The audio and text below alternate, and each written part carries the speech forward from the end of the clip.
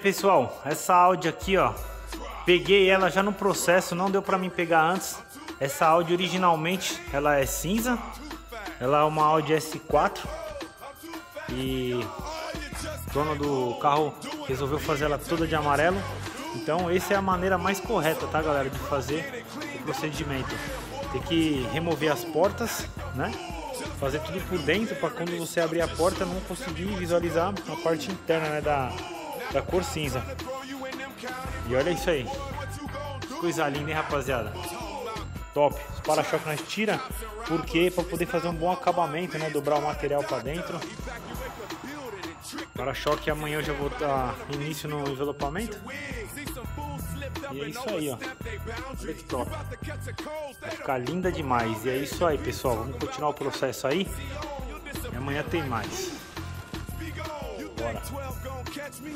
Ó, finalizado aqui a Audi S4. Esse carro anteriormente ele era na cor cinza, né? Um grafite. Fizemos ele inteiro de amarelo. Fizemos essas grades aqui no preto fosco acetinado. Junto com brilhante. Aqui embaixo fizemos fibra de carbono 5D, ó. Olha só o brilho desse material, pessoal. Como parece muito uma tinta. Olha isso. Olha, os, olha o reflexo. Acabamento no retrovisor no prata alumínio escovado. Fizemos também aqui essa barra no prata alumínio escovado. Para manter o padrão original do carro, né? Olha isso, pessoal. Coisa linda. O brilho, ó. E é isso aí, pessoal. Mais um aí finalizado.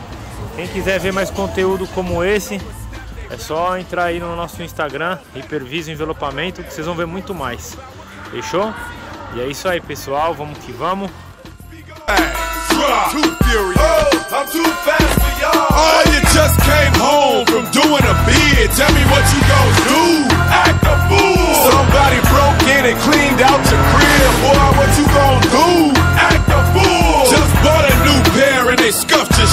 Tell me what you gon' when them count.